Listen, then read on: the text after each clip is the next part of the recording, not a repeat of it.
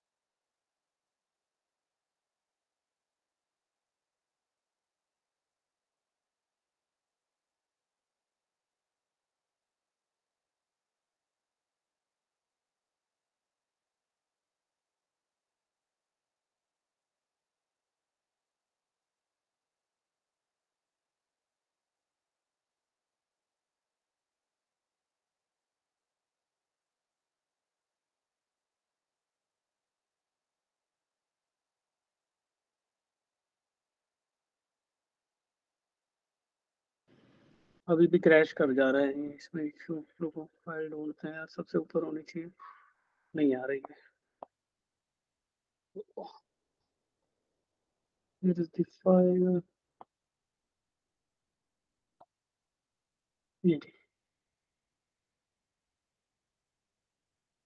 आया किसी का आंसर बेटा? चैट बॉक्स में आंसर्स ड्रॉप करते जाओ।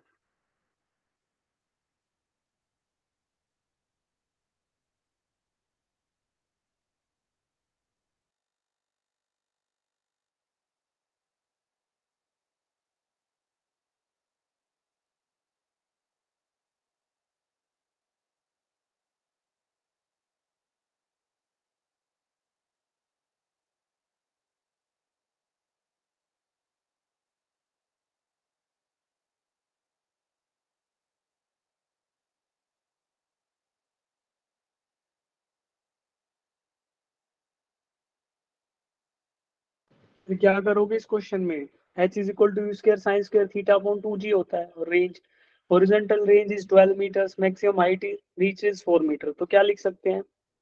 R is equal to three times of h. Range आपकी 12 है। और h कितनी है? 4 है। तो इसे ये लिख सकते हैं implies r is equal to three times of h. तो रेंज इज़ इक्वल टू यानी u square sine square theta divided by g is equal to 3 into u square sin square theta. Sorry, sin, ये range के formula में sine two theta आता है बेटा। तो ये आएगा साइन टू थीटा और ये sine square theta upon g two g ठीक है? यहाँ से कैलकुलेट करो, आपको क्या बताना है? Velocity of projection velocity of projection निकालनी है, निकाल सकते हैं। जी से जी उड़ा दो। और यूज़ केयर से यूज़ केयर उड़ा दो। क्या बचेगा? साइन थीटा से साइन थीटा उड़ा दो। सॉरी साइन टू थीटा है ना ये? इसको ऐसे नहीं उड़ा सकते, इसको हम फॉर्मूला में एक्सपेंड करेंगे। साइन टू थीटा को क्या लिख सकते हैं? Two sine theta cos theta is equal to three into sine theta sorry three by two into sine theta into sine theta अब एक साइन थीटा से एक साइन थीटा उड़ा लो। फिर क्या आएगा? Four by three into cos theta, ऐसे आएगा, देखो इसको लिखते हैं। Four by three is equal to tangent of theta. तो यहाँ से आपको टेन थीटा की वैल्यू पता चल गई। थीटा क्या आएगा? Tan inverse four by three. फिर एक फॉर्मूला में रख लो। चाहे ओरिजेंटल रेंज के में रख लो, चाहे मैक्सिमम हाइट के फॉर्मूला में रखो थीटा पता चल गया, जी की वैल्यू आपको पता ही है। और जी तो ऐसे ही आएगा ना आंसर में। और यू आपको निकालना है। निकाल सकते हो? यस सर निकाल सकते हो ना? एक तरीका ये था। दूसरा तरीका है कि एच की जगह बारह लिख लो। और सॉरी एच की जगह चार लिख लो और रेंज की जगह बारह लिख लो। यहाँ चार लिख के कुछ एक सॉल्यूशन आ जाएगा यहाँ बारह लिख के कुछ आ जाएगा। फिर आप एक अननोन बचेगा यू खाली यू अननोन बचेगा थीटा आपको मिल ही जाएगा इनके रिलेशन से। तो you can put that value and find the answer ठीक है? तो फिर आपको आंसर मिल जाएगा। मिल जाएगा ना? खाली स्मृति ने आंसर दिया है ऑप्शन नंबर है तो अभी के लिए इसका ए आंसर मान लेते हैं और टिक नहीं करूँगा मैं। तो आप सोल्व कर लेना इसको। किसी को इसमें डाउट है तो पूछो कि सर ये डाउट रह गया तो I will explain it completely फिर।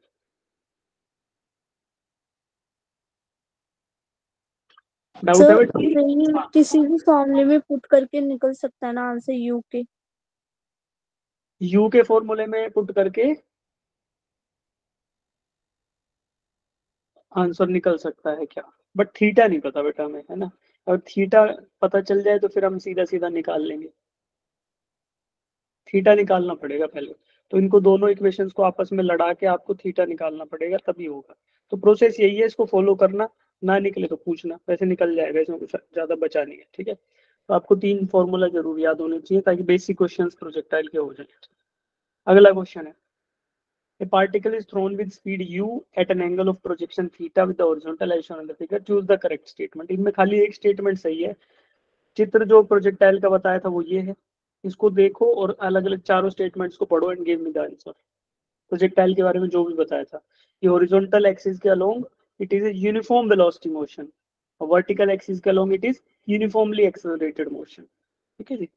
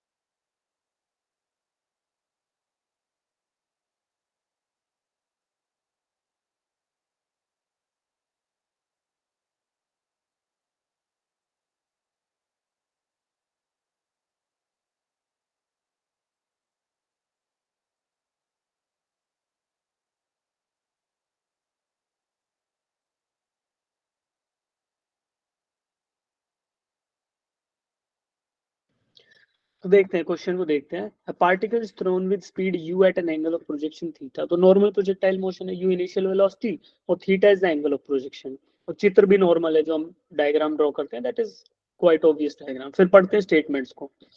Average velocity during o to d is u cos theta o से d तक जाते समय एवरेज वेलोसिटी जो है u cos थीटा है। क्या ये सही बात है? O Yes, से d sir.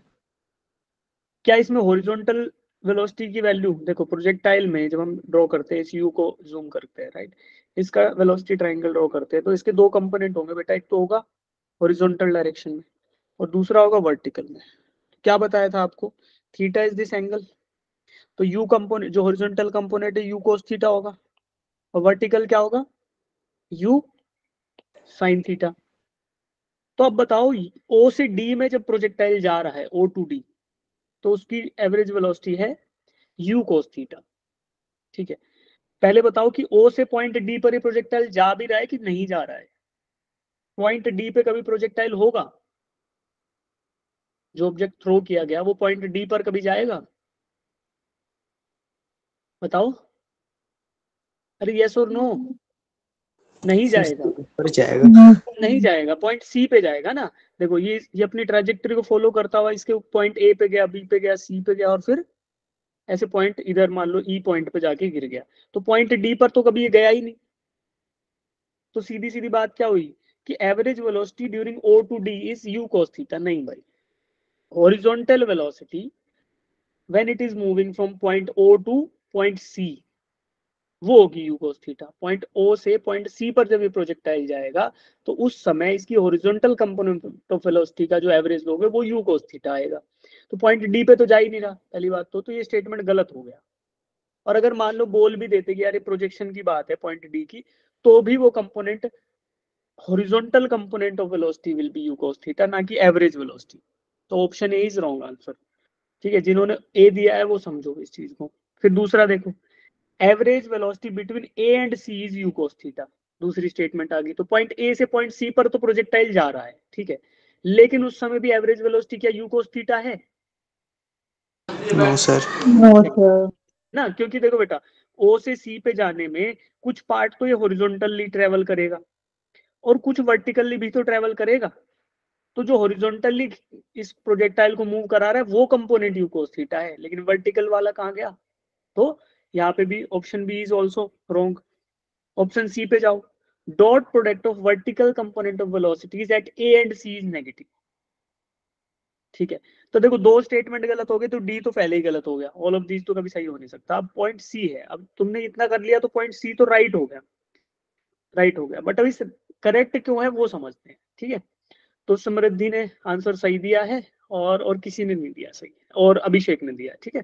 तो अब समझो, जिन बच्चों का ये आंसर गलत हो गया, वो इस चीज़ को देखो कि dot product of vertical components of velocity at A and C तो पॉइंट ए पे वर्टिकल कंपोनेंट क्या होगा बेटा? अपवर्ड होगा। क्योंकि अभी ए से बी पर जाने में इसको थोड़ा और ऊपर मूव करना है, ठीक है? और पॉइंट सी पे वर्टिकल कंपोनेंट क्या होगा? डाउनवर्ड होगा। समझे? क्योंकि सी से इसको ई e पे जाना है वर्टिकली मूव करके। तो ए पर वर्टिकल कंपोनेंट वर्टिकली अपवर्ड्स है। और सी पर वर्टिकल कंपोनेंट वर्टिकली डाउनवर्ड है। तो इन दोनों के बीच में वेलोसिटीज के बीच में क्या एंगल हो गया बेटा? 180 डिग्री का। और साइन 180 क्या होता है? ज़ीरो। साइन ऑफ़ 180 कितना होता है? साइन वन एटी ज़ीरो होता है। कोस वन एटी होता है सर माइनस माइनस वन होगा। ज़ीरो होगा। सर वन एटी होता है माइनस वन cos 180 होता है माइनस वन ठीक है। तो dot product of vertical component of velocity अच्छा एक बात बताओ। एक वेक्टर उससे दूसरी डायरेक्शन में। क्या बोलते हैं? एक वेक्टर वर्टिकली अपोजिट डायरेक्शन में पॉइंट कर रहा है तो उनका डॉट प्रोडक्ट क्या आएगा? ए बी कोस थीटा होता है ना ए बी कोस हाँ तो यहाँ पे हमने ये साइन थीटा साइन ऑफ़ 180 ना लिख हम कोस लिखेंगे, क्योंकि हमारे डॉट प्रोडक्ट में तो कोस आता है। कोस ऑफ़ 180 क्या होगा? Minus one. अब सही है? तो फिर डॉट प्रोडक्ट करें कि डॉट प्रोडक्ट ऑफ़ मान लो velocity at A and velocity at C तो क्या होगा dot product of velocity at A, velocity at A to velocity at C. Cos of angle between them. तो कोस 180 नेगेटिव होता है तो minus v A magnitude of v into magnitude of v C तो ये क्या हो गया? It is a negative value तो फिर हमारी स्टेटमेंट सी क्या हो गई? सही हो गई। हाँ जी समझ आ गया? Up अगर समझ आ गया तो। कुछ समझ आ तो दे दिया करो तो आइडिया लगेगा कि हाँ समझ आ रहा है ठीक है? चलो चलो जी अगला क्वेश्चन देखते हैं। ये पाथ ऑफ़ प्रोजेक्टाइल का है ठीक है? Projectile initial velocity equation of path is अब प्रोजेक्टाइल का जो ट्राजेक्टरी का इक्वेशन होता है ट्राजेक्टरी क्या बताया था? The actual path actual parabolic path followed by the object उसको क्या बोलते हैं हम? ट्राजेक्टरी ठीक है बेटा? अब इसकी एक इक्वेशन होती है, दो होती है बल्कि, उसमें से एक लिखा हुआ ये वाला। Y is equal to x tan theta minus g x square upon two u square को इसका बड़ा लंबा सा डेरिवेशन होता है। अगर ये याद है आपको तो तो इस क्वेश्चन का सॉल्यूशन यहाँ पे डाल दिया, इसको कर लेना। अगर याद नहीं है और डिफिकल्टी हो रही है याद करने में तो अभी के लिए इस क्वेश्चन को क्या करना? छोड़ देना। क्योंकि अगर अभी याद नहीं है तो एग्ज़ाम तक आप याद नहीं रख पाओगे। ठीक है बेटा? तो इसका सॉल्यूशन मैंने डाल दिया है। जिनको ये इक्वेशन याद हो दे फाइंड वो इस सॉल्यूशन को पढ़ना आपको समझ आ जाएगा। ठीक है? अभी के लिए क्लास में इसको छोड़ देते हैं। सर एक बार इसकी दूसरी वाली इक्वेशन भी बता दो। दूसरी वाली इक्वेशन होती है x tan theta into one minus x square upon r square ठीक है? तो वो इक्वेशन लिख देता हूँ मैं कहीं। Y is equal to x tan theta into one minus x square upon r square यहाँ पे आर जो हॉरिजॉन्टल एक भी याद हो तो चलेगा ना? बेटा एक भी याद हो तो चल तो जाएगा लेकिन फिर वो डिपेंड करेगा कि वैल्यूज़ क्या क्या दे रखी है है ना? बट ऐसा क्वेश्चन बहुत रेयरली आता है। अगर याद है ऑलरेडी तो ठीक है नहीं तो छोड़ दो अभी के लिए। मैं तो यही सजेस्ट करूँगा सोल्यूशन यहाँ रखा है तो ठीक है नहीं आता तो छोड़ देना। तो ये अभी याद कर लोगे तो याद रुकेगी नहीं एक्चुअली है ना? तो ये इसलिए। दूसरी इक्वेशन ये है बेटा इसकी। ठीक है? अब क्या करेंगे फिर? आगे बढ़ेंगे। अगला क्वेश्चन करेंगे। क्वेश्चन नंबर इलेवन करो।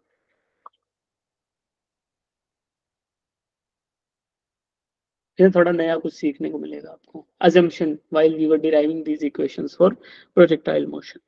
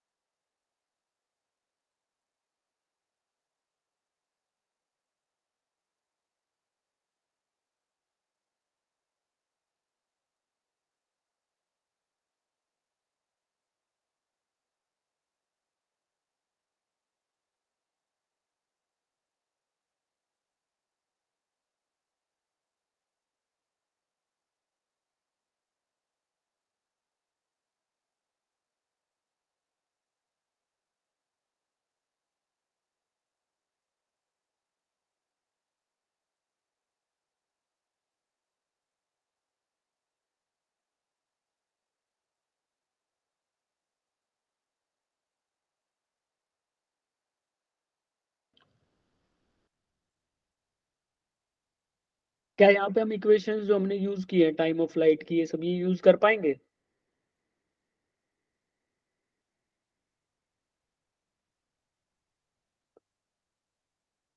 देखो प्रोजेक्टाइल मोशन जब आपको स्टार्ट कराया था तो उसमें एजम्पशन क्या था? कि the only force that is acting is force due to gravity यानी एक्सेलरेशन ड्यू टू ग्रेविटी खाली लग रहा हो, उसके अलावा कुछ भी नहीं लगना चाहिए। तब हमने तीन इक्वेशन डिराइव की थी। Time of flight horizontal range and maximum height reach by the projectile लेकिन यहाँ पे कुछ एक्स्ट्रा लग रहा है?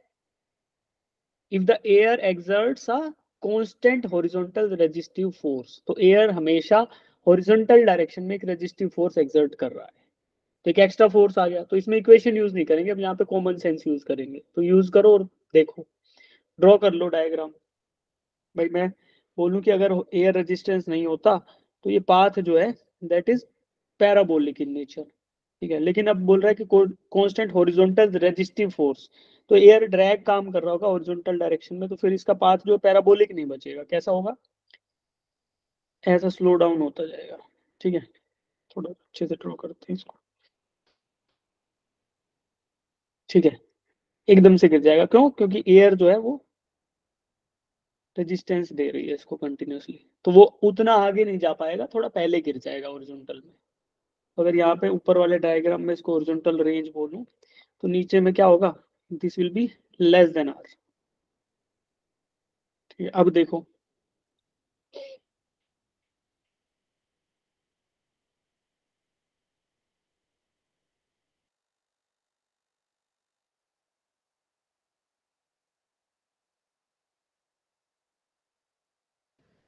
At the farthest point the velocity is horizontal तो फारदेस्ट पॉइंट मतलब क्या हुआ?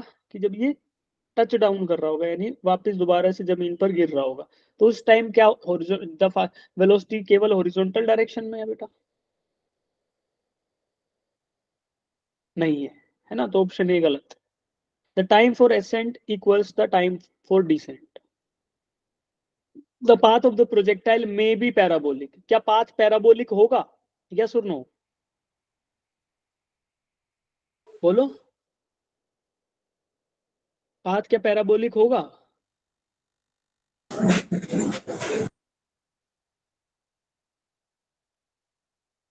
अरे अमन, देखो, यहाँ पे पैराबोलिक होगा, जब कोई भी एयर ड्रैग नहीं है तो ये पैराबोलिक होगा। लेकिन इसकी शक्ल बदल गई ना। ये ये पैराबोलिक नहीं होगा बेटा, ये ऐसा होगा, देखो, ऐसे जाएगा पहले शुरू में। अरे इरेजर आ गया। स्टार्टिंग में जाएगा ऐसे, और फिर एकदम से एयर ड्रैग की वजह से ऐसे नीचे आ जाएगा। तो ये पैराबोलिक नहीं बचा ना। The path is not parabolic in nature तो पाथ ये पैराबोलिक नहीं होगा। The path of projectile may be straight line क्या प्रोजेक्टाइल का पाथ कभी स्ट्रेट लाइन हो सकता है? अगर मान लो स्ट्रेट लाइन होगा तो क्या होगा? पाथ ऐसे स्ट्रेट लाइन तो ऐसे चलता जाएगा ऊपर ऊपर ऊपर, गिरेगा ही नहीं। स्ट्रेट लाइन का मतलब तो ये हुआ। तो ऑप्शन डी इज़ ऑल्सो गलत। तो सही कौन सा हो गया फिर? Option number B B is the right answer B सही क्यों है? पहले तीनों गलत कर लिया अब बी को सही प्रूव कर लिया। अब बोलो time of ascent equals to time of descent ascent और डिसेंट क्या होता है बेटा? जब भी प्रोजेक्टाइल काम कर रहा होगा ठीक है? तो एसेंट का टाइम होगा जब ये ज़ीरो हाइट से ऊपर पहुंचेगा मैक्सिमम हाइट वाले पॉइंट पे। उसको बोलेंगे एसेंट ठीक है? तो अभी इधर नहीं लिखेंगे इसको इधर लिख देते हैं। यानी कि ऊपर जा रहा है। फिर मैक्सिमम हाइट से नीचे कौन से पाथ पे जाएगा? डिसेंट तो अब मुझे बताओ कि time for ascent is equal to time of descent क्यों? क्योंकि फ़र्स्ट हाफ़ एसेंट जब कर रहा है, तब भी एक्सेलरेशन ड्यू टू ग्रेविटी ही लग रहा है वर्टिकल डायरेक्शन में तो। और जब डिसेंट कर रहा है, तब भी वही लग रहा है। तो ऊपर जाते time uniformly D accelerated motion है, और नीचे आते टाइम यूनिफॉर्मली एक्सेलरेटेड मोशन है। विद कांस्टेंट एक्सेलरेशन जी तो टाइम की जो वैल्यू आएगी वो दोनों में बराबर आएगी चाहे इक्वेशन यूज़ करके देख लेना, v is equal to u plus a t equation लगाना, t जो आएगा that will be constant for दोनों के लिए बराबर आएगा। ठीक है, ऐसा क्यों हुआ? क्योंकि हमें डी एक्सेलरेशन केवल हॉरिजॉन्टल डायरेक्शन में मिल रहा है because air exerts a constant horizontal resistive force तो केवल हॉरिजॉन्टल डायरेक्शन वाले मोशन को एयर इन्फ्लुएंस कर रहा है। वर्टिकल डायरेक्शन वाला तो वही चल रहा है जो पहले था। तो नॉर्मल प्रोजेक्टाइल मोशन में भी time for ascent is equal to time for descent और इधर भी वही हो रहा है। तो option B is the right answer अब किसी को डाउट है तो पूछो। सर एक्चुअली ये क्वेश्चन मैंने सर पहले भी सॉल्व किया था। उसमें B C and D sir तीनों करेक्ट बताए हुए थे। इसका आंसर जो करेक्ट है वो केवल बी है। पाथ ऑफ़ प्रोजेक्टाइल में भी पैराबोलिक तो गलत हो गया ना। बताओ आप सी कैसे सही है? आपने सोल्व किया था बताओ सी कैसे सही है?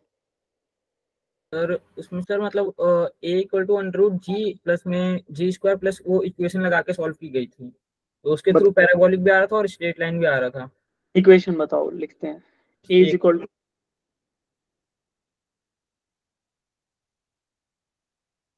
आप देख लो फिर वापस आएँगे इस पे। अगला क्वेश्चन करो सब बच्चे तब तक। Option B is the right answer for that question ठीक है बेटा? चलो क्वेश्चन नंबर ट्वेल्व करते हैं।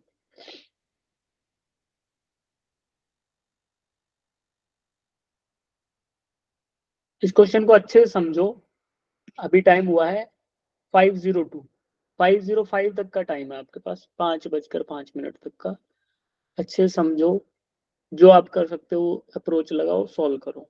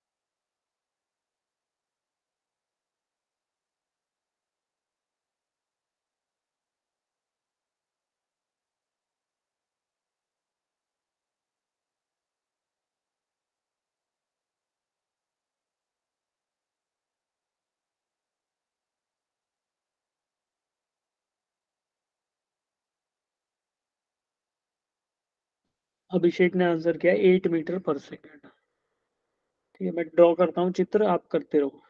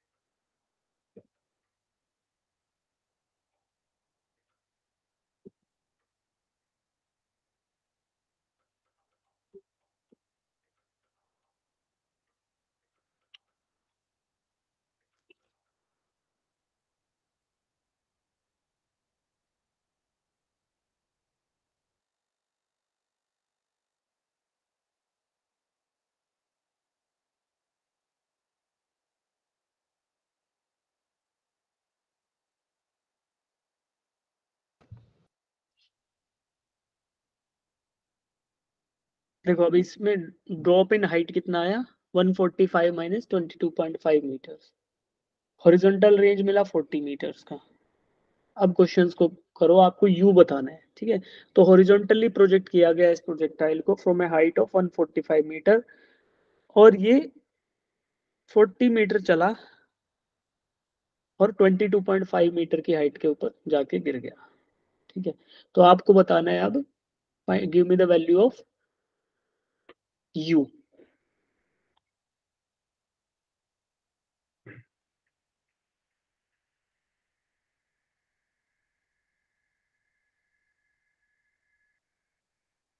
option B आ रहा है। ठीक है option B eight metre per second सही है शायद ये आंसर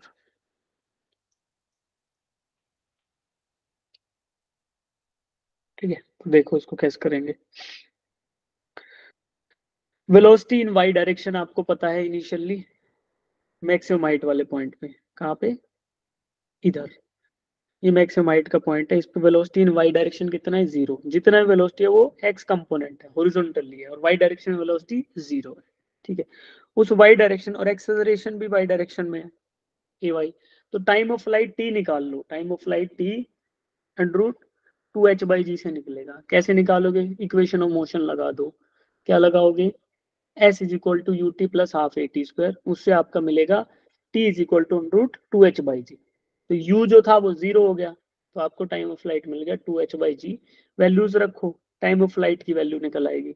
एच कितना आया? 145 forty five minus twenty two point five. Dip in height जो डिप इन हाइट आएगा वो आएगा 145 forty five minus twenty two point five. That is 122.5 और g की वैल्यू 9.8 है। इनको वैल्यूज़ को पुट करो तो आपको t मिल जाएगा टाइम ऑफ़ फ़्लाइट फिर आपको t निकालने के बाद you can use t into horizontally जो हॉरिजॉन्टल कंपोनेंट ऑफ़ वेलोसिटी था, u, x u x into time of flight t is equal to 40 metres कि भैया 40 मीटर कवर किया, u x वेलोसिटी से किया और टाइम टी में किया तो velocity into time is equal to distance तो इससे आप यूज़ करके you can find out the answer ठीक है? तो इसको फाइंड आउट करोगे तो I think answer option number B ही आएगा एट मीटर पर सेकेंड जिनका नहीं हुआ, अभी करो। जिनका नहीं हुआ, देखो वर्टिकल मोशन हो रहा है बेटा। Vertically initial u i is equal to zero और एच कितना हाइट डिप हुआ दैट इज़ 122.5 अब आप टी निकालना है आपको, ठीक है? कैसे निकालोगे? शायद ये इक्वेशन लगा सकते हैं s equal to u t plus half a t square हाँ ये निकालेंगे। तो u इनिशियली y डायरेक्शन में लिखेंगे, इस इक्वेशन को y डायरेक्शन में लिख रहा हूँ। डिस्प्लेसमेंट इन y डायरेक्शन जो कि हाइट h 122 के बराबर है। U y into t plus one by two into minus g into t square ठीक है बेटा? तो यू वाई आपका ज़ीरो था तो ये कंपोनेंट ज़ीरो हो गया। यहाँ से आप करोगे इसको सॉल्व तो टी की वैल्यू वही मिलेगी। Two into s y upon g t is equal to root two into s y s y क्या है? One twenty two point five upon में कितना? Two g yes two h upon g g की value question में दे रखी होगी। नहीं दे रखी तो नाइन पॉइंट एट ले लो और सॉल्व करो। टी आ जाएगा। फिर टी को क्या करो? हॉरिजॉन्टल कंपोनेंट था u x into this t is equal to forty तो यहाँ से आपको यू एक्स मिलेगा। वो एट मीटर पर सेकेंड मिलेगा ठीक है। हो जाएगा? हर्षित को बोल रहे हैं। सर वो पिछले वाले क्वेश्चन का सॉल्यूशन पिछले वाले का? किस इसका? हाँ सर वो उसका। सर मैंने कहा था ना B C B C and D आएगा हाँ। सर वो एक्चुअली जब हम तो रेजिस्टिव फोर्स लग रहा होगा उसके उसके थ्रू उसकी वजह से सर एक रेजिस्टिव एक्सेलरेशन भी लग रहा होगा। लेट हाँ। से लेट से ए एक्स हाँ। और एक डाउनवर्ड एक्सेलरेशन लग रहा होगा जी हाँ। तो सर उसकी वजह से जो नेट एक्सेलरेशन आएगा जब वेक्टोरली सॉल्व करेंगे तो वो आएगा हाँ। Root g square plus a x square हाँ ठीक है। सर ये पूरी वैल्यू सर ये पूरी वैल्यू to- कांस्टेंट होगी। G square plus a x का स्क्वायर ठीक है हाँ। सर ये पूरी वैल्यू कांस्टेंट होगी क्योंकि कांस्टेंट कांस्टेंट फोर्स लग रहा है। एग्जैक्टली हाँ। तो सर और कांस्टेंट एक्सेलरेशन का मतलब सर स्ट्रेट लाइन और पैराबोलिक होता है? कांस्टेंट एक्सेलरेशन का मतलब स्ट्रेट लाइन और पैराबोलिक होता है। तो आप बोल रहे हो ऑप्शन नंबर सी और ऑप्शन नंबर कौन कौन सा सही होगा? फिर डी भी सही होगा। Yes sir B C and D a net is equal to this this and this okay. Uh, it, then the secret alternative is ठीक है मैं आपको समझाऊँगा अभी के लिए सब बच्चे ऑप्शन बी रखो इसको मैं सोल्व करता हूँ ठीक है लास्ट में रखते हैं बाकी गलत होगा बेटा ये अभी। ठीक है इधर के तो हो गए ये तो बेसिक क्वेश्चन है इक्विवेलेंट इनको मत करना। ये किसका है? पार्टिकल नहीं। ठीक है सर्कुलर मोशन के क्वेश्चन थे, इसमें कुछ ऐड कर दिए थे। इनको मत करना, किसी को अटेम्प्ट करने हो तो कर सकते हो। अब a net is equal to g square plus a x square ठीक है जी कांस्टेंट है ए कांस्टेंट है नेट एक्सेलरेशन कांस्टेंट आ जाएगा, ठीक है। बट इसका डायरेक्शन कुछ होगा, अलग जो होगा टेंजेंट ऑफ़ थीटा अगर रखें तो that will be g upon a x ठीक है, ये इसका थीटा होगा एक्सेलरेशन का राइट और प्रोजेक्शन एंगल आपका थीटा है थीटा इसको थीटा डैश बोल लेते हैं तो इफ़ेक्टिव थीटा इफ़ेक्टिव आ जाएगा थीटा माइनस थीटा डैश ठीक है, और एक्सेलरेशन कांस्टेंट हो गया, ठीक है तो जो पाथ ऑफ़ प्रोजेक्टाइल है वो पैराबोलिक हो सकता है और स्ट्रेट लाइन हो सकता है स्ट्रेट लाइन तो कभी भी नहीं होगा, चाहे कितना भी कांस्टेंट आ जाए, और जो है पाथ ऑफ़ प्रोजेक्टाइल में भी पैराबोलिक पैराबोलिक भी नहीं होगा. क्यों नहीं होगा? रुको. एक्स डायरेक्शन वाई डायरेक्शन में कंपोनेंट्स है. हम्म.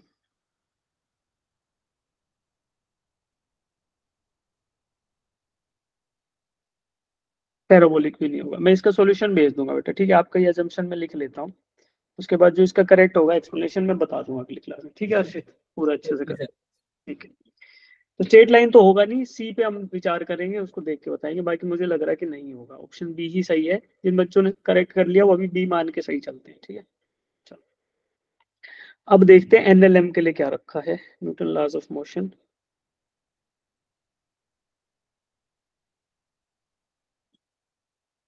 तो एनएलएम में फ़र्स्ट पहले डिस्कस करेंगे हम लोग कि एनएलएम में फोर्सेस क्या होते हैं टाइप ऑफ़ फोर्सेस ये सब डिस्कशन करेंगे, फिर क्वेश्चंस करेंगे उससे रिलेटेड ये तो बहुत अरे ये कौन सा पीडीएफ है तो खुली का है शेयर कर देंगे आपके साथ बाद में।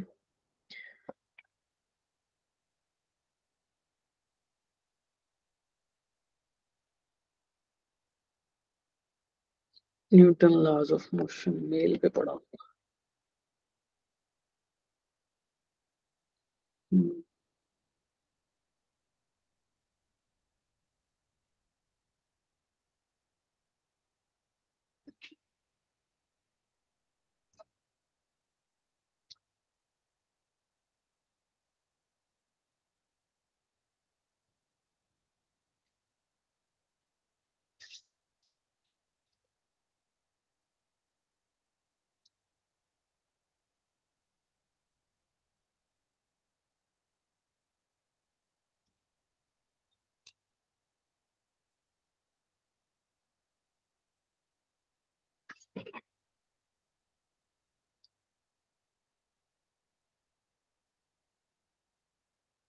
सर रिवर बोर्ड प्रॉब्लम्स कब करवाओगे कराएँगे बेटा वो भी कराएँगे पीडीएफ दे दूँगा आज आपको रिवर बोट और रेन मैन प्रॉब्लम का उसको एक बार अटेम्प्ट करके आना फिर मैं सॉल्व करा दूँगा उनको फटाफट जो आपके डाउट्स रहेंगे okay sir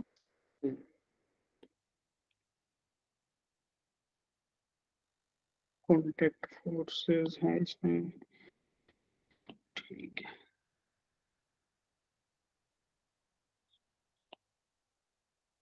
river boat problem important part है। ये भी सही बोल रहे हो आप। उसके फॉर्मूलाज तो आपको दिखा दिए थे मैंने। ठीक है। कुछ क्वेश्चंस है, ये कर लेते हैं।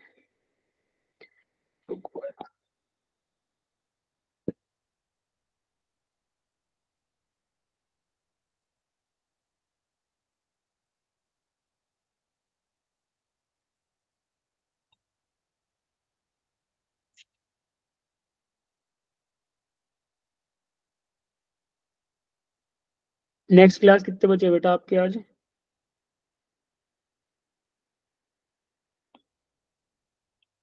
अगली क्लास का टाइमिंग क्या है? मैथ्स की हो गई आज की क्लास सात बजे की है।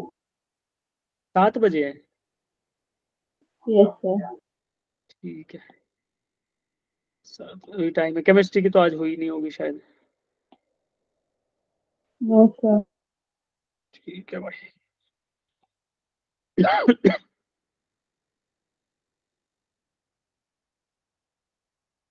हम्म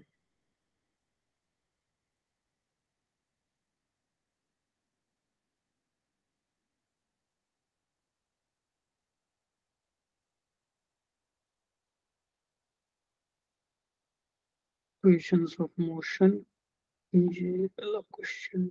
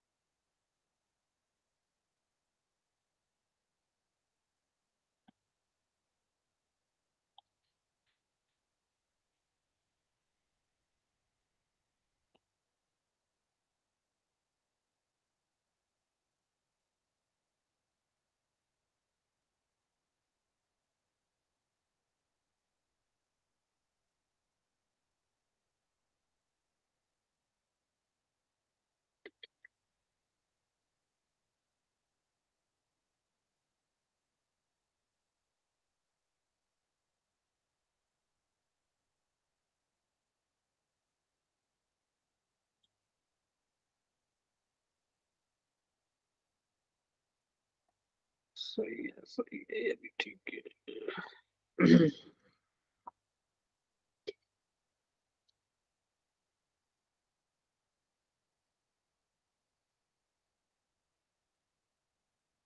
चलो वही शुरू करते हैं।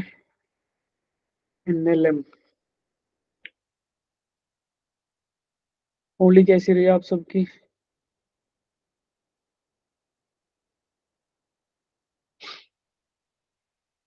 कहाँ गए हो भाई।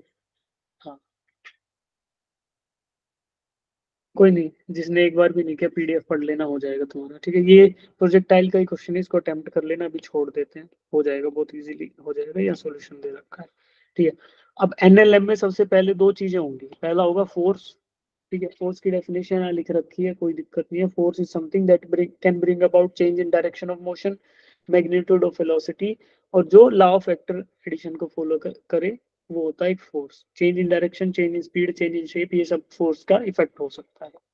इसके बाद हमारे पास टाइप ऑफ़ फोर्सेज होते हैं. पहला कॉन्टेक्ट फोर्स जब दो ऑब्जेक्ट डायरेक्ट फ़िज़िकल कॉन्टेक्ट में होंगे उस समय जो फोर्स एक्ट कर रहा होगा that is called as contact force तो कौन से आंसर होंगे बेटा? नॉर्मल रिएक्शन हो सकता है या फिर फ्रिक्शनल फोर्स हो सकता है. Along the surface frictional force और along perpendicular to the surface is normal reaction force ठीक है तो these are called as contact forces tension क्या होगा?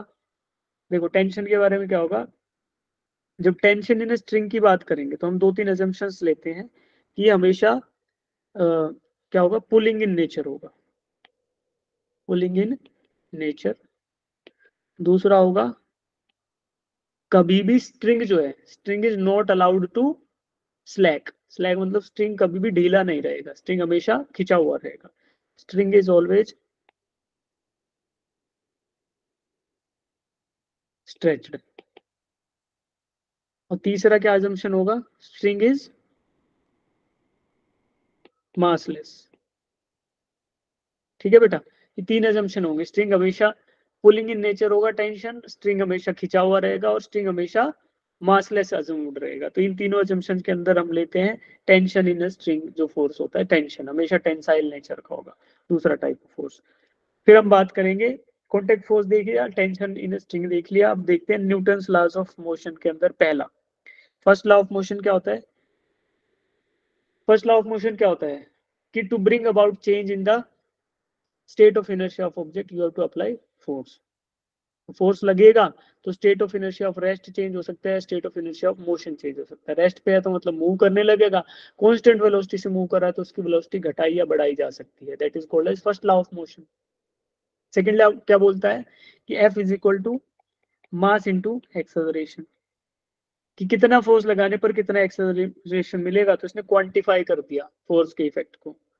तीसरा सिंगल फोर्स कभी एग्जिस्ट नहीं करेगा। फोर्स हमेशा एक्शन एंड रिएक्शन पेयर्स में एग्जिस्ट करेंगे। This is called as third law of motion फिर एक एक लॉ को हमने यहाँ लिख रखा है। Inertia of rest inertia of motion या इनर्शिया ऑफ़ डायरेक्शन को चेंज करने के लिए किसकी रिक्वायरमेंट होगी? फोर्स की। यही है फ़र्स्ट लॉ ऑफ़ मोशन दूसरा second law of motion acceleration is equal to F by m a या फिर F is equal to m a ये सबको पता है। ठीक है?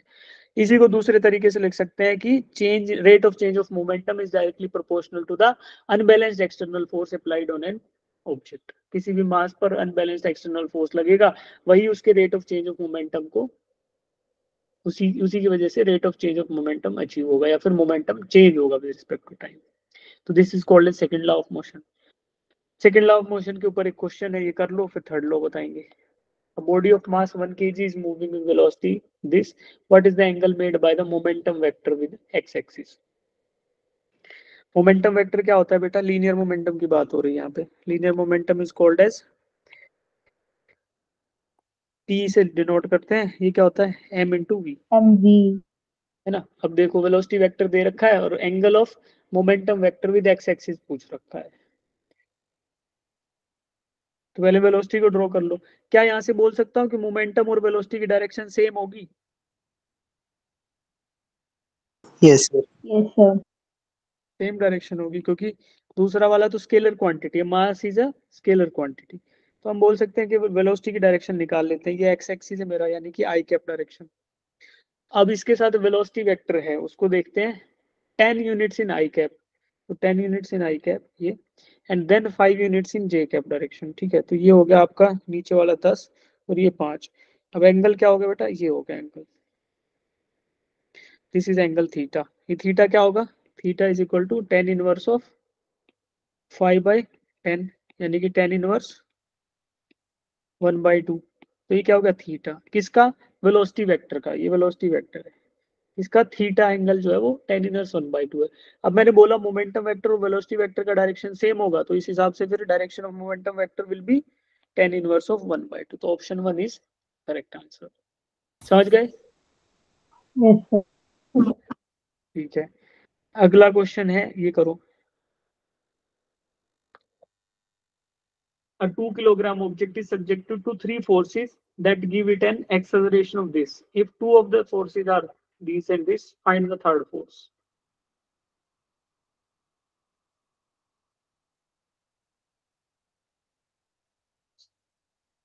Second law भी लग रहा है इसमें वैसे तो देखा जाए तो सेकेंड लॉ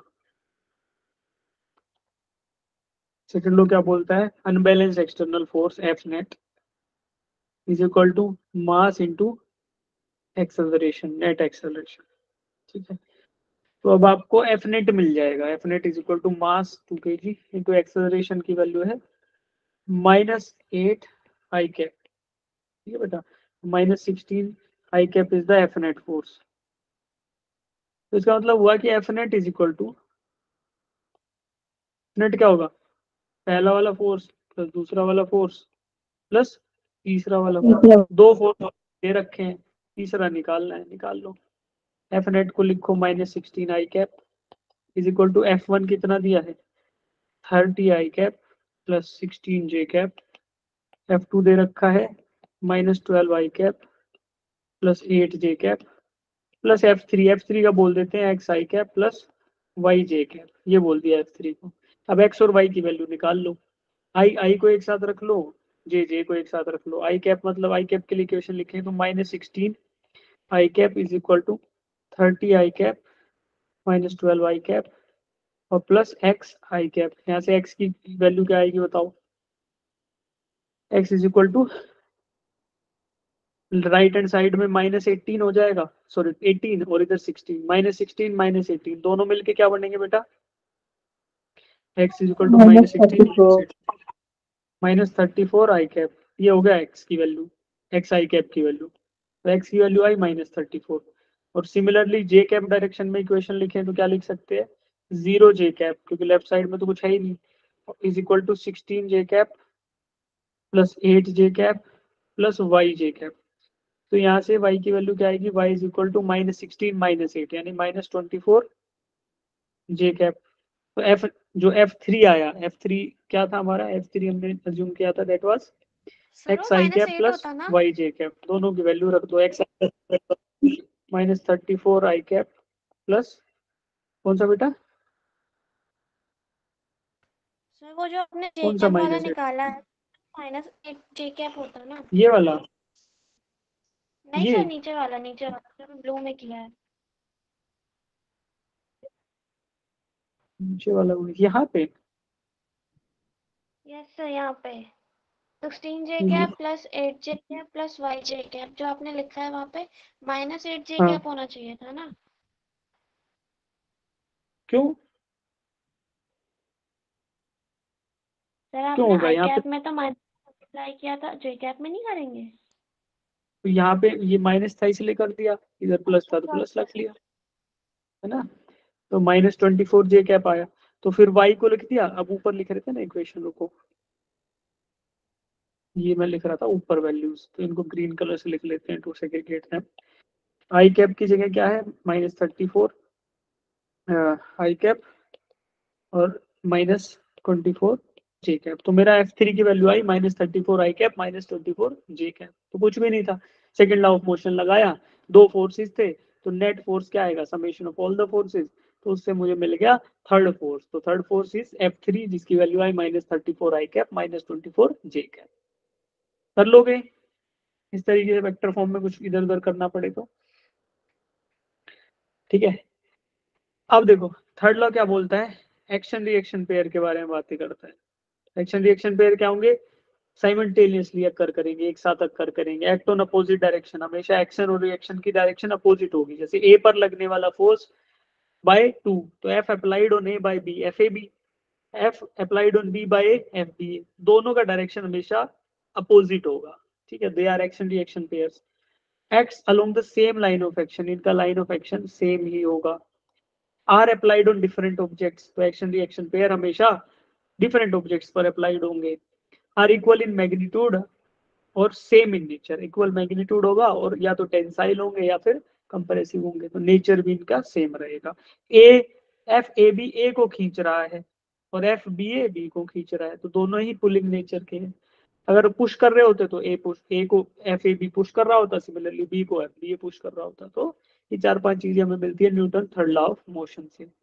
इसके बाद बात करेंगे फ्री बॉडी डायग्राम की। तो एफबीडी क्या होता है? एफ़ बी डी मान लो ये तीन ऑब्जेक्ट है। ग्राउंड के ऊपर एक ऑब्जेक्ट ब्लॉक ए रखा है ब्लॉक बी रखा है। अब मैं ब्लॉक ए पर लगने वाले सभी फोर्सेस को ड्रॉ करना चाहता हूँ तो क्या करूँगा? मैं ब्लॉक ए को आइसोलेट कर लूँगा और उस पर लगने वाले सभी फोर्सेस को ड्रॉ कर दूँगा।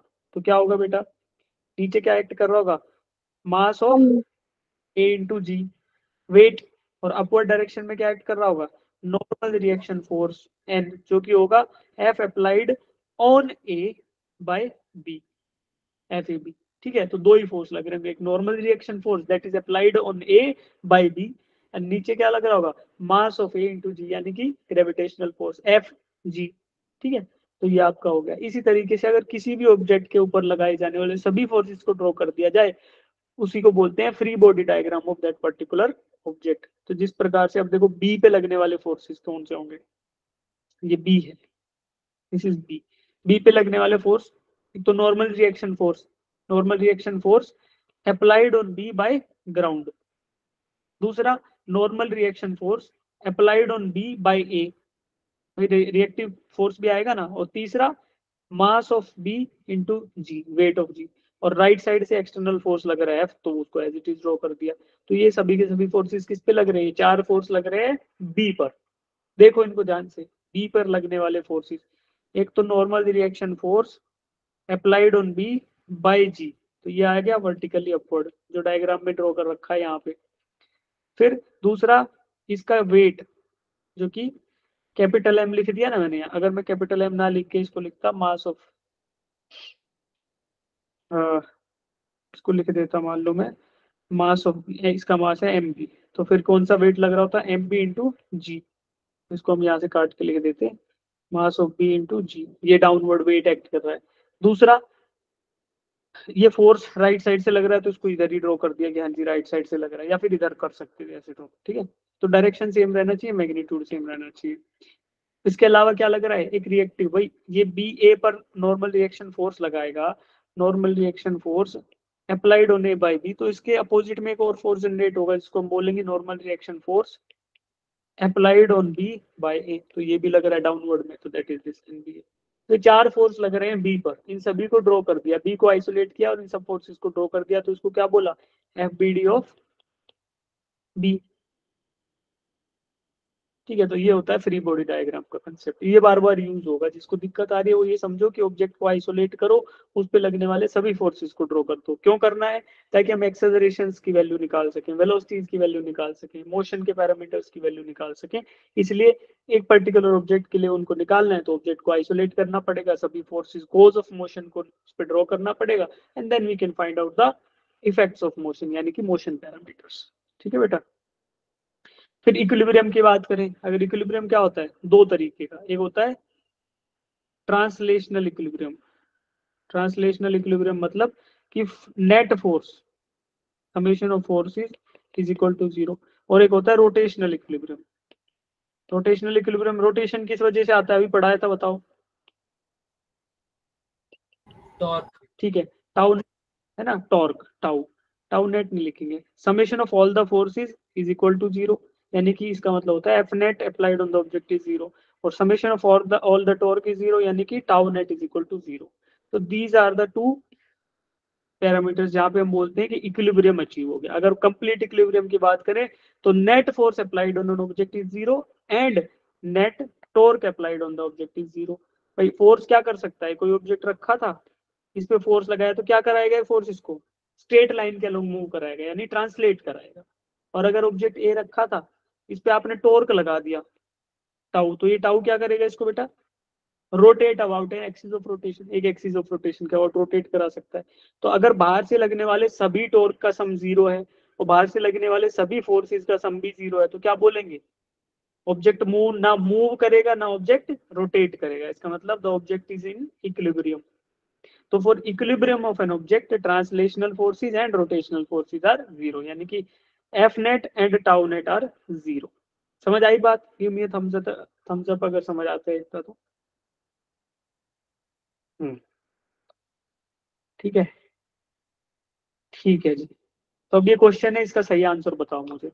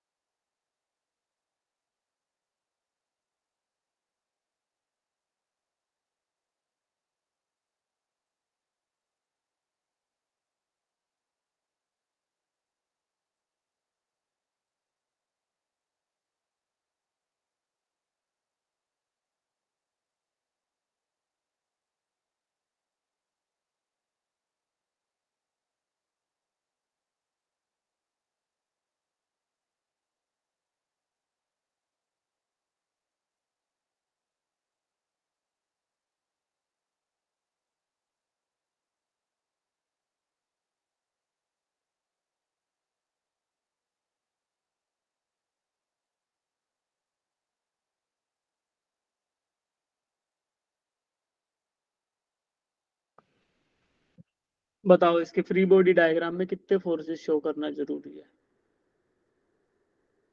वी ग्रुप है वी ग्रुप का मतलब है वन एंड टू जो आपको लेबल्ड दिख रहे हैं ना, ये कुछ वी टाइप का सपोर्ट है, ठीक है? दो दीवारें मान लो इसको A and B one one and two sorry और इनके बीच में एक सिलेंड्रिकल ग्रुप रख सिलेंड्रिकल वेट रखा हुआ है डब्ल्यू तो इस डब्ल्यू पर के फ्री बॉडी डायग्राम में कितने फोर्सेज आएँगे?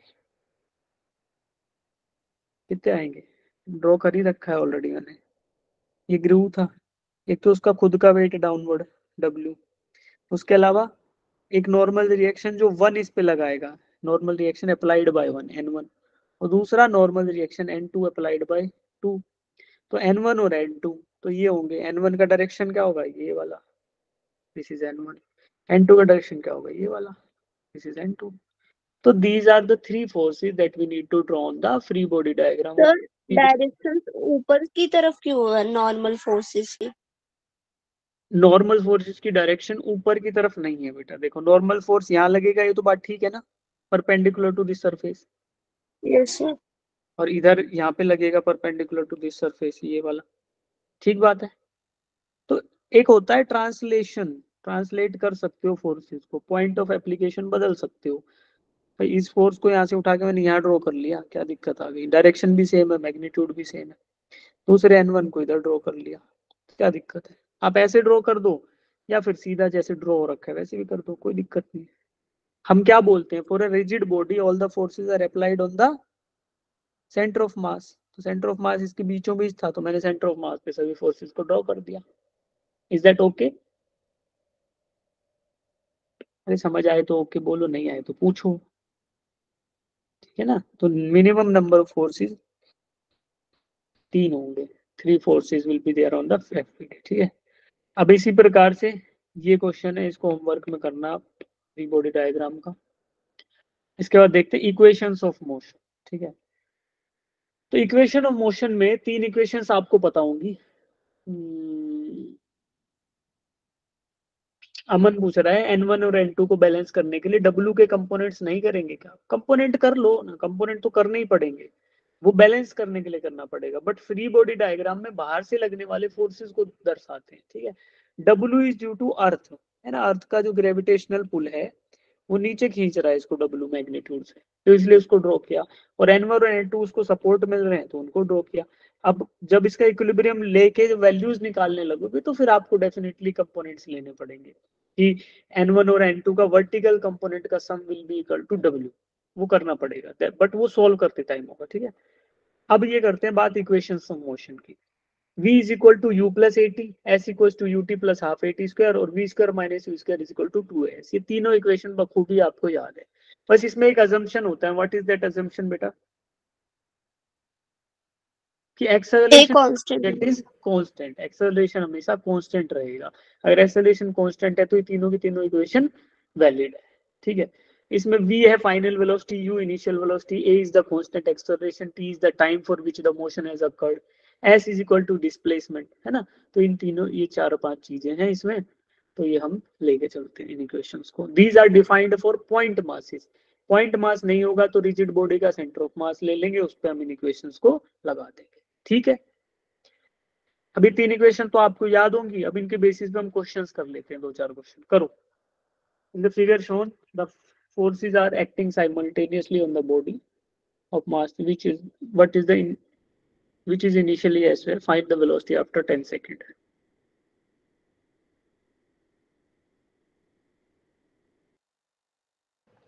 cause of motion first law बोलता है cause of motion is net unbalanced external force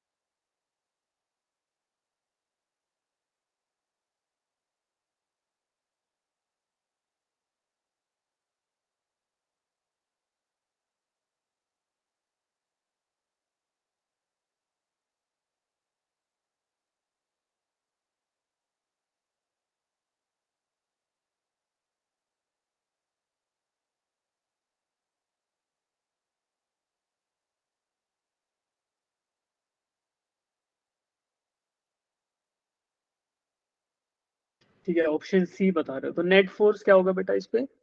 F net की बात अगर हम करते हैं तो एफ़ नेट क्या आ रहा है?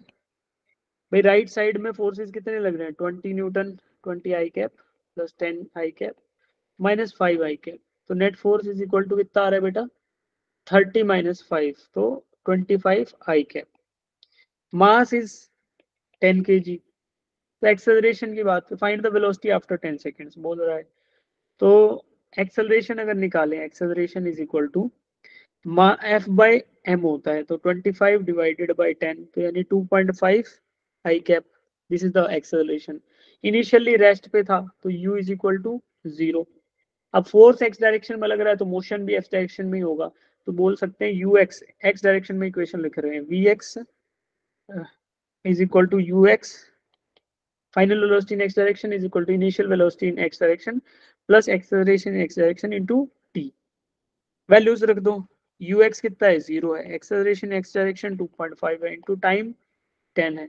कर दो कितना आ रहा है answer 25 metre per second in I cap direction ठीक है बेटा? तो मैग्नीट्यूड खाली पूछ रहा है तो what is the right answer option number C is the right answer ठीक है? तो सब लोगों ने इसको ठीक से किया है। ठीक है? अब इससे थोड़ा सा अलग question question number two force between three K G and two K G block as shown in the figure F one की वैल्यू हंड्रेड न्यूटन है एफ़ टू की ट्वेंटी फाइव न्यूटन है. Contact force between A and B block A and block B के बीच में contact force कितना लग रहा होगा? यानी कि यहाँ पर फोर्स कितना है?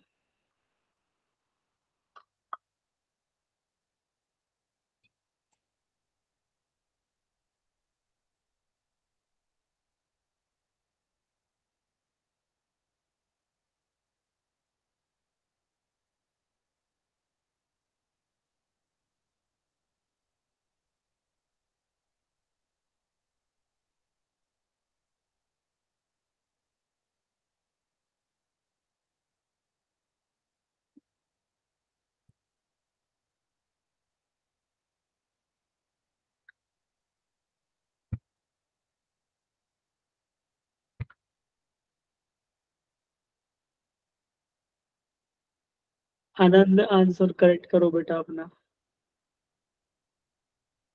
पहले एक्सेलरेशन निकालो। दोनों ब्लॉक देखो लेफ़्ट साइड से 10 न्यूटन लग रहा है राइट साइड से 25 तो ये दोनों फोर्सेस की वजह से किस साइड मूव करेंगे दोनों ब्लॉक जिधर से फोर्स ज़्यादा लग रहा होगा। यानी कि राइट साइड में दोनों ब्लॉक इकट्ठा एक साथ मूव करेंगे विद सम एक्सेलरेशन उस एक्सेलरेशन की वैल्यू निकालो सबसे पहले। पहले एफ़ निकालो, फिर टोटल मास निकालो that give me the value of net acceleration और उस नेट एक्सेलरेशन की वजह से टू किलोग्राम ब्लॉक को कितना फोर्स रिक्वायर्ड होगा? वही फोर्स होगा कॉन्टेक्ट फोर्स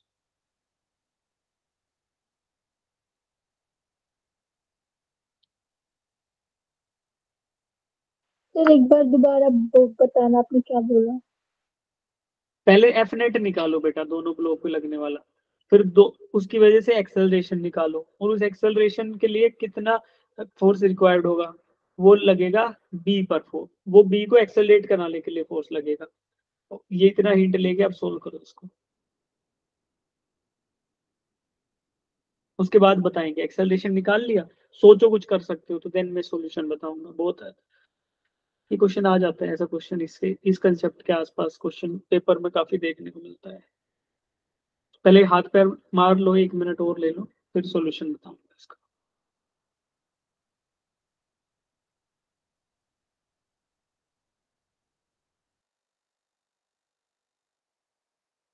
सर रेजोल्यूशन निकालने के बाद क्या करना है?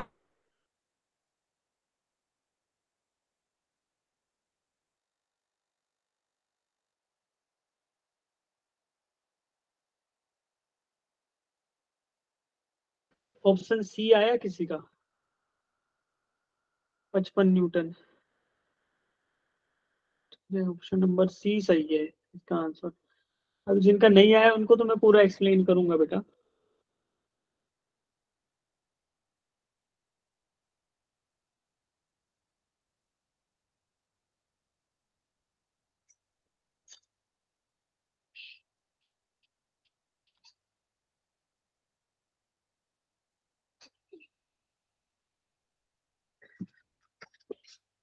चलो सॉल्व करते हैं। देखो हमें निकालना है कॉन्टेक्ट फोर्स अब लेफ़्ट साइड से कितना फोर्स लग रहा है? 100 न्यूटन और राइट साइड से 25 न्यूटन तो इस पूरे ब्लॉक दोनों ब्लॉक को इकट्ठा एक सिस्टम मान लूँ मैं ऐसे है ना? तो इस पे बाहर से लगने वाला नेट फोर्स कितना होगा बेटा? 75 है ना? राइट साइड राइट साइड में 100 और उसको काटने वाला उल्टा 25 तो एफ़ नेट कितना आया? एफ़ नेट आ गया 75 newton in the I cap direction यानी एक्स डायरेक्शन ठीक है? अभी 75 न्यूटन फोर्स से एक्सेलरेशन प्रोड्यूस होगा। दोनों ब्लॉकों का मास कितना है? Total mass? 5 kg 5 K G. तो 75 न्यूटन को 5 केजी मास को एक्सेलरेट कराना है तो एक्सेलरेशन कितना आएगा? Twenty five. 15 75 डिवाइडेड बाय 5 यानी कि 15 15 metre per second square in the I cap direction. ये आ गया आपका एक्सेलरेशन ठीक है बेटा? अब ये एक्सेलरेशन क्या एक ब्लॉक का होगा कि दोनों का होगा? दोनों का। तो यानी कि एक्सेलरेशन ऑफ़ बी भी आपका 15 है और एक्सेलरेशन ऑफ़ ए भी आपका कितना है? 15 है। समझ आया? अब देखो 2 केजी ब्लॉक को अगर 15 मीटर पर सेकेंड स्क्वायर से एक्सेलरेट कराना है तो कितना फोर्स चाहिए होगा? 30 कितना चाहिए होगा? इसको ब्लॉक को एक्सेलरेट 30. कराना है राइट साइड में। तो एफ़ रिक्वायर्ड कितना होगा? 15 इंटू थर्टी थर्टी न्यूटन का फोर्स चाहिए होगा इसको 15 मीटर पर सेकंड स्क्वायर से एक्सेलरेट कराने के लिए। तो इतना फोर्स तो चाहिए ही चाहिए। और प्लस में राइट साइड से 25 और लग रहा है।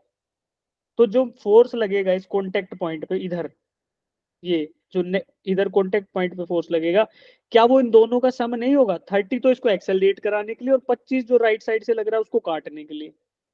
तो कितना आएगा? 55 न्यूटन देखो।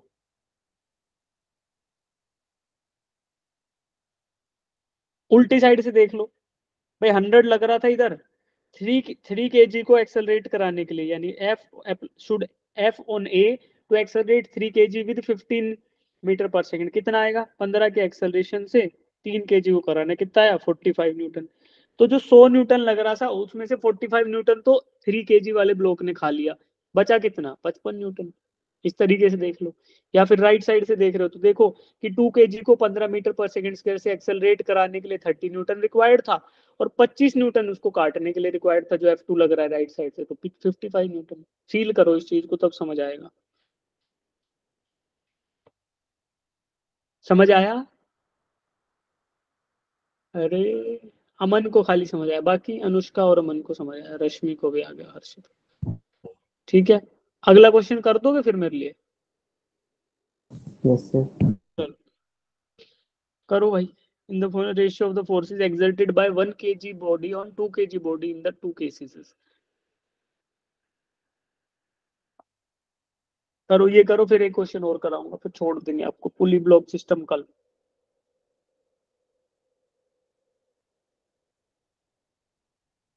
रिवरमैन प्रॉब्लम आपको शेयर करूँगा विद सॉल्यूशन शेयर कर दूँगा। उनको आप अटेम्प्ट करना। प्रोजेक्टाइल के क्वेश्चंस का पीडीएफ शेयर कर दूँगा, और ये वाली पूरी पीडीएफ शेयर कर दूँगा। फिर इसमें आप अटेम्प्ट करके आना। ठीक है? एक घंटा बैठ के करोगे, सारे क्वेश्चन हो जाएँगे, एक डेढ़ घंटे में। करो सब लोग इसको ट्राई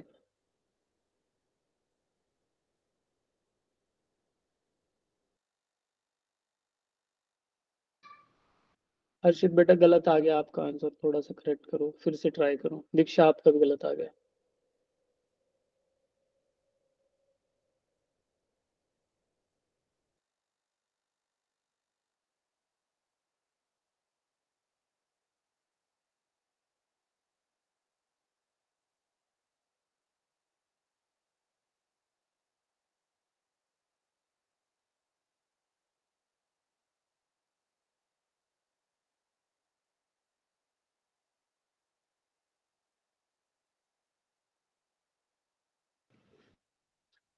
जिन बच्चों को बी आंसर आ रहा है वो सही है। देखो कैसे करना है? पहले लेफ़्ट साइड वाले सिस्टम को देखो। बाहर से लगने वाला फोर्स है थ्री न्यूटन और टोटल मास है थ्री के तो एक्सेलरेशन कितना आ जाएगा बेटा? वन मीटर पर सेकेंड फिर राइट साइड वाले को देखो। राइट साइड में भी एक्सेलरेशन कितना आ जाएगा? वन वन मीटर फिर फिर देखो फिर बोल रहा है क्या है कि ratio forces exerted by one KG block on two KG block तो लेफ़्ट साइड में वन केजी वाला, टू केजी पे कितना फोर्स लगा रहा होगा? भाई, टू केजी को वन मीटर पर सेकेंड से एक्सेलरेट कराना है, उतना ही फोर्स लगाएगा। तो कितना होगा? टू इंटू वन तो टू न्यूटन। राइट साइड में देखो, वन केजी वाला टू केजी पे कितना लगा रहा होगा? राइट साइड में वन केजी को एक्सेलरेट कराना है वन मीटर से तो वन न्यूटन घट जाएगा। वन न्यूटन ही लगेगा तो रेशियो निकालो फिर।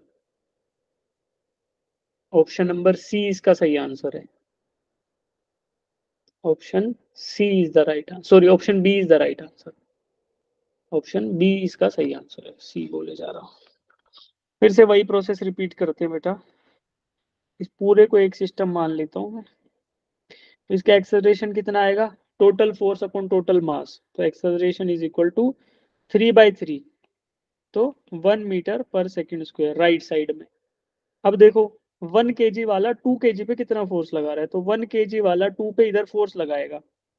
कि, किस, कितना फोर्स होगा? टू के को वन मीटर पर सेकंड से एक्सेलरेट कराने लायक फोर्स। तो F is equal to mass into acceleration तो टू टू न्यूटन का फोर्स लगाना पड़ेगा। वन वाला पुश करेगा टू वाले को दो न्यूटन से। तभी दो किलोग्राम का mass one metre per second से एक्सेलरेट करेगा।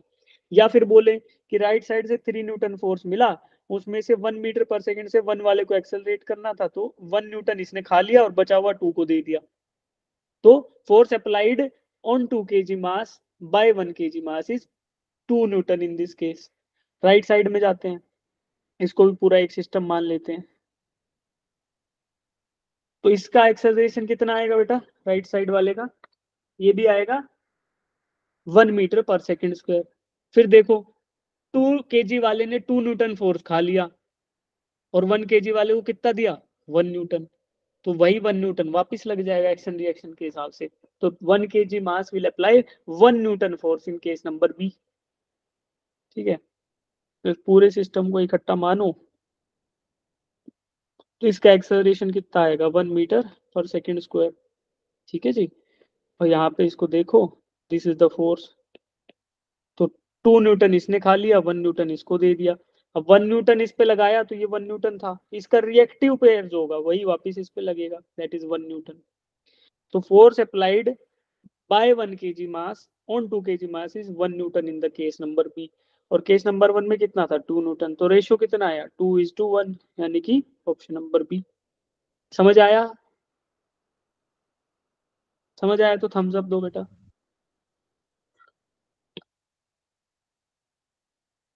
ठीक है। चलो। डाउट है किसी को इसमें? चलो। एक क्वेश्चन ये और कर दो, फिर आपको छोड़ देंगे। ये क्वेश्चन लास्ट क्वेश्चन इसको अटेम्प्ट कर दो।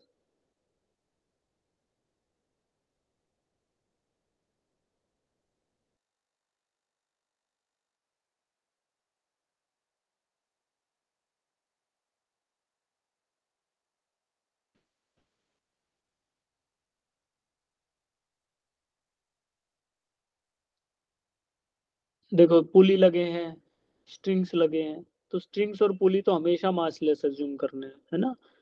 और बोल दिया है कि स्प्रिंग बैलेंस भी मासलेस है तो find the reading of the spring balance. तो फोर्स जो लगेगा, वही होगा रीडिंग ऑफ़ स्प्रिंग बैलेंस। तो फोर्स डिफरेंस होगा बेटा, है ना? मान लो इस वाले में टी वन बोल दिया, टेंशन वन और इधर टी टू है। तो स्प्रिंग बैलेंस की रीडिंग होगी, वो T one minus T two होगी, इसी की वैल्यू आपको फाइंड आउट करनी है।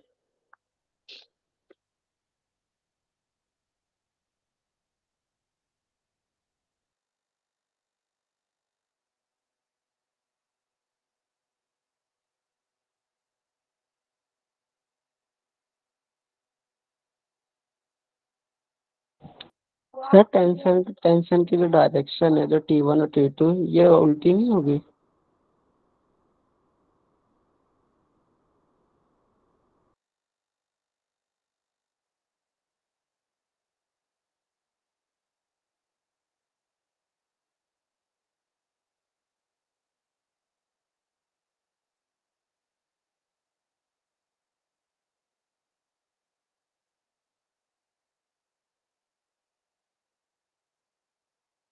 सर माइक ऑफ़ है। अच्छा हाँ सही बोला। माइक ऑफ़ था। टेंशन के डायरेक्शन अगर ढंग से ड्रॉ करो तो ऐसे ड्रॉ करते हैं ना क्योंकि स्ट्रिंग को खींच रहा है ये। पुलिंग स्ट्रिंग पे लग रहा है ना टेंशन तो ऐसे। तो इसलिए अगर F B D of three K G बनाते थ्री के जी का अगर डायग्राम बनाते तो फिर उस पर टेंशन कहाँ लग रहा होता? ऐसे लग रहा होता। ये टी वन होता नीचे इसका मास इंटू जी यानी कि थर्टी न्यूटन होता। ठीक है? तो जब स्ट्रिंग पे ड्रॉ करते हैं तो ऐसे एलोंगेटिंग इन नेचर ऐसे दोनों साइड एरो बना के कर सकते हैं, ठीक है? तो रीडिंग अभिषेक ने आंसर दिया 2.4 केजी ऑप्शन नंबर डी तो ये बिल्कुल सही जवाब है आपका 2.4 केजी सब बच्चे निकालो इसको, है ना? सब बच्चे इसको निकालो।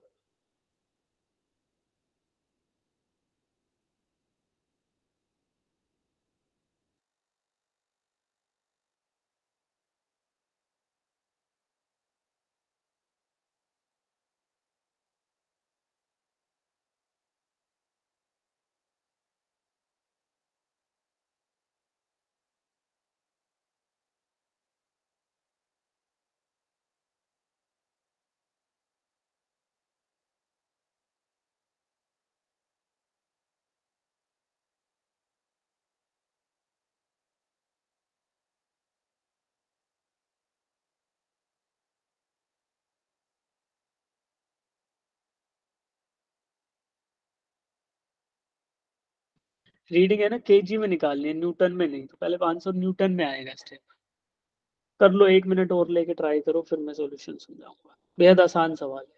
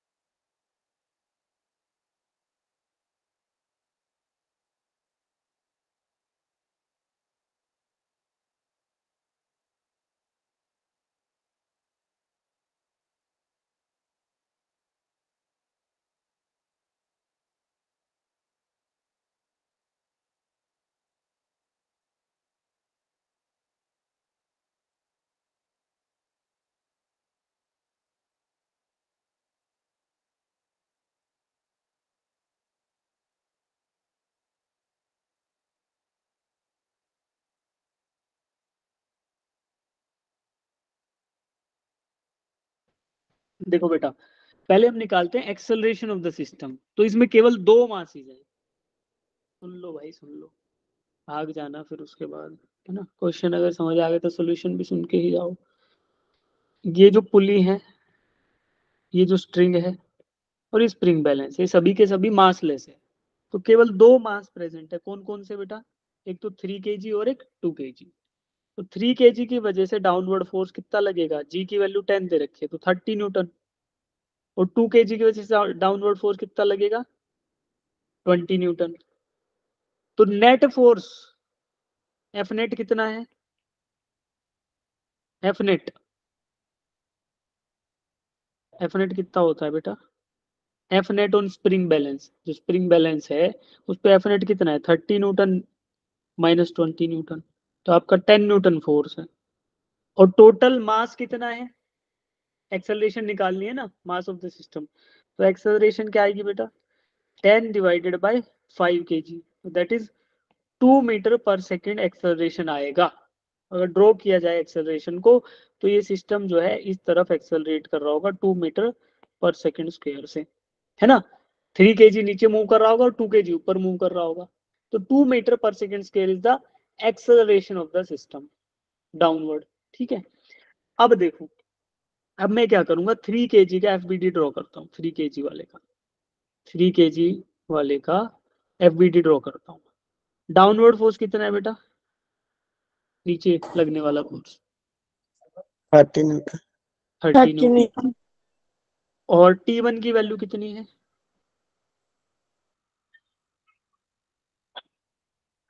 बताओ। थर्टी। थर्टी हो गए। थर्टी नहीं है। थर्टी। नहीं है। एक फोर्स जो इसको टू मीटर पर सेकंड से एक्सेलरेट करा रहा है डाउनवर्ड वो भी तो फोर्स होगा। टेन देखो इस फोर्स को बोल लेते हैं एफ़ डी यानी डी एक्सेलरेटिंग फोर्स भाई अगर ये टेंशन टी नहीं होता तो ये कितनी एक्सेलरेशन से नीचे गिरता? जी से सर थर्टी सिक्स हो गया क्या टी वन रुक जाओ एक सेकंड टेन से ten metre per second square से नीचे गिरता ना अगर टी वन नहीं होता तो। फ्री फॉल करता। अगर टी वन नहीं होता टी वन की वैल्यू ज़ीरो होती तो ये ब्लॉक जो थ्री के का है ये टेन मीटर पर सेकंड यानी जी की वैल्यू से नीचे गिरता। इला अभी किस किस वैल्यू से गिर रहा है? Two metre per second square से। तो कुछ फोर्स है जो इसको डी एक्सेलरेट करा रहा है। उसको बोल देते हैं F D D accelerating force तो अब ऊपर की तरफ़ लगेगा, क्योंकि डी एक्सेलरेट करा रहा है। तो अब देखो क्या कर सकते हैं T one plus F D is equal to thirty newton ऊपर लगने वाले दो फोर्सेस टी वन दूसरा एफ़ डी और तीसरा थर्टी न्यूटन टी वन की वैल्यू मुझे निकालनी है और डी एक्सेलरेटिंग फोर्स मुझे पता है। डी एक्सेलरेटिंग फोर्स कैसे निकालेंगे बेटा? इसी इक्वेशन को दोबारा लिखते हैं T one is equal T one plus D force कितना है? मास आपका three K G into G minus A acceleration जिस एक्सेलरेशन से नीचे आ, आ रहा है G minus A is equal to thirty ठीक है अब वैल्यू रखो। टी वन की वैल्यू निकालनी है मास थ्री पता है जी आपका टेन है एक्सेलरेशन टू है इज़ इक्वल टू थर्टी तो टी वन की वैल्यू कितनी आएगी बेटा? Thirty minus three into eight तो कितना आया? ट्वेंटी फोर तो टी वन आपका आ गया six newton six newton is the T one value ठीक है? और कितने मास पे लग रहा है ये? कितने पे लग रहा है? थ्री थ्री पे. ठीक है? कुछ गड़बड़ करा हमने? टू पॉइंट फोर तो नहीं आ रहा. Three into G minus one is equal to T ठीक है अच्छा डी एक्सेलरेटिंग में हमने जी एक्स्ट्रा ले लिया इधर, ये गड़बड़ कर दी। रुक जाओ यार। डी एक्सेलरेटिंग फोर्स की वैल्यू गलत रख दी। ठीक है। तो यहाँ से ही देख लेते हैं ना, इधर ही ड्रॉ करके। नीचे लग रहा है थ्री जी जिसकी वैल्यू आई है थ्री इंटू टेन यानी कि थर्टी न्यूटन तो फोर्स ग्रेविटेशन लग रहा है। प्लस एक फोर्स लग रहा है जो एक्सेलरेशन दे रहा है, इसको दूसरा टी है। ठीक है। तो दिस इज़ टी तो इन दोनों की इक्वेशन लिखते हैं तो थ्री जी माइनस टी दूसरे तरीके से लिख लिया था। Thirty newton minus T thirty newton नीचे लग रहा है टेंशन ऊपर लग रहा है, और इनका रिजल्टेंट है, उसकी वजह से एक्सेलरेशन आ रहा है मास एम में ए का एक्सेलरेशन ठीक है? तो इस तरीके से समझना आसान है, सही है थर्टी माइनस टी की वैल्यू मुझे निकालनी है इज़ इक्वल टू मास आपका three K G into acceleration कितना? टू तो अब यहाँ से टी निकालो तो that is thirty minus six तो ट्वेंटी फोर न्यूटन आएगा। ठीक है, अब ये समझना आसान है आपके लिए कि थर्टी न्यूटन नीचे लग रहा है और टी ऊपर लग रहा है। इन दोनों का जो रिजल्टेंट बच गया, उसी की वजह से एक्सेलरेशन आ रहा है, जो ए आया था, जो हमने वैल्यू निकाली है जी बाय फाइव यानी कि टेन बाय फाइव जो कि टू वैल्यू थी। उसको टू रखा तो ट्वेंटी फोर न्यूटन फोर्स है, जो इसको टी के तौर पे ऊपर खींच रहा है, ट्वेंटी फोर न्यूटन। तो देखो टी जो है वो ट्वेंटी फोर न्यूटन है, ठीक है? ये टी वन और टी टू बराबर ही होंगे इसमें, क्योंकि सेम सेम ही स्ट्रिंग है ना ये। तो एक स्ट्रिंग पे टेंशन हमेशा बराबर होता है। तो टी वन बोल लो टी टू बोल लो तो इनकी वैल्यू आई आपकी ट्वेंटी फोर न्यूटन अब ट्वेंटी फोर न्यूटन फोर्स है, और मास कितना है टोटल आपका? फाइव के जी तो ट्वेंटी फोर को फाइव से आप डिवाइड करो तो आपको जो आंसर मिलेगा that will be two point four sorry acceleration बच गया ना force divided by F F is equal to M M में होता है तो मास आपका मास की तो रीडिंग आएगी और एक्सेलरेशन जो है वो जी है तो एफ़ बाई जी करना है, ठीक है? दैट इज़ 2.4 किलोग्राम जो रीडिंग आएगी। अगर न्यूटन में आंसर होता तो 24 न्यूटन आंसर आता, ठीक है? अब इसमें देखो काफ़ी कंफ्यूजन हो गया, इसको डाउट अगर है तो पूछ लो, जिनको समझ आ गया ठीक। जिनको अभी डाउट बच गया, कुछ स्टेप में गड़बड़ हो गई तो बीच में हमने